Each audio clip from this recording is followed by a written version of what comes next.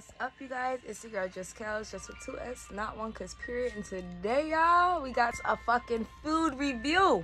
Now, look, don't judge me when I say that I went to the 99 cent store, y'all. Yes, the 99 cent store. And I went to get some canned goods and stuff because your girl went food shopping for the house and everything. And I came across this. And it looked really good. Like, y'all see the picture, right? Y'all see that picture. Now, I'm to show you my food. And it doesn't look like that, but that's okay. We'll figure it out. So it is Thai. That was random. Thai Penang curry. I don't even know if I'm saying that right. But it comes in two packages. They go in the microwave. You split the packages and you eat it. So I'm going to show y'all what it looked like. And then um, I'm going to show y'all me taking a bite, basically. So y'all can see. And it says that it's mild. So it's not hot.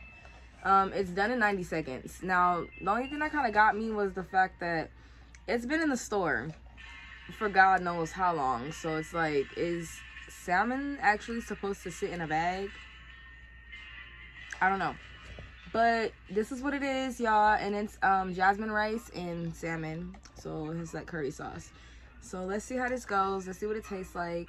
So there was this Mountain Dew, right? And it is mystery flavor. Um, when I first tasted it, I, am not a Mountain Dew drinker. Like Mountain Dew tastes like oddly sweet. I don't like it. But y'all ever had the tropical um, lemonade from McDonald's? That's what it tastes like, but it still tastes like Mountain Dew. Like you know what I mean? But anyways, y'all, let's get up into this um, Thai Penang uh, curry with salmon and jasmine rice. So this is what it looked like. And yeah, I know it looked real funny. Like, that's what it looked like. But y'all, when I tell y'all, because this is like my fourth bite, it tastes good. Like, I don't know what that is. That don't look like that. But that tastes good. Even though it don't look like that. So, yeah, y'all. And I got me some hot fries because y'all, you know, niggas need something hot to eat with their food. And a nice little water over there. But, yeah.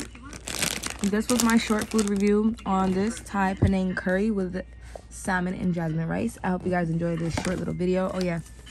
Don't forget this. Don't mind my water bottles back there. A bitch be really thirsty at night. Okay? And I'll just be throwing them by the door. But anyways, y'all, this is my little meal for the day. This is my findings. And um, later on i'm gonna put up my store findings or whatever in my next video. So hopefully you guys enjoy this. And i am out